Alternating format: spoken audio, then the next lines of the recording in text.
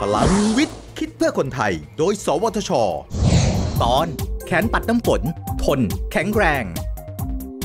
มีผู้ประกอบการหลายรายที่พัฒนาสินค้าใหม่ โดยต่อยอดจากสินค้าเดิมที่ทำอยู่นะครับ เนื่องจากผู้ประกอบการเองก็มีความเชี่ยวชาญอยู่เป็นทุน อย่างไรก็ตาม การพัฒนาสินค้านั้นจำเป็นต้องใช้ความรู้ทางวิทยาศาสตร์และเทคโนโลยี เข้ามาช่วยค่ะเพื่อให้สินค้าใหม่ที่ผลิตขึ้นนั้นมีความโดดเด่น แปลกใหม่ และมีคุณภาพดีเลิศค่ะ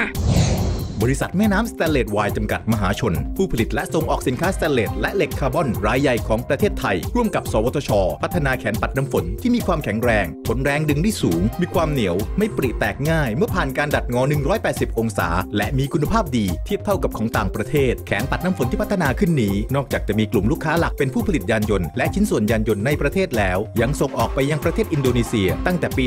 2558 จนถึงปัจจุบัน โดยมีมูลค่าการส่งออก 1-2 ล้านบาทต่อปี และและมีแนวโน้มเติบโตเพิ่มขึ้น ถือเป็นนวัตกรรมที่ช่วยเพิ่มมูลค่าให้กับผลิตภัณฑ์ และสนับสนุนยอดการขายวัสดุเหล็กคาร์บอนในอุตสาหกรรมยานยนต์ที่เป็นสัดส่วนอุตสาหกรรมหลักของบริษัทอีกด้วย สนับสนุนธุรกิจเทคโนโลยี โดย TMC สวทชพัฒนาคนด้วยวิทยาศาสตร์ พัฒนาชาติด้วยเทคโนโลยี สอบถามรายละเอียดเพิ่มเติมได้ที่ 02 564 8000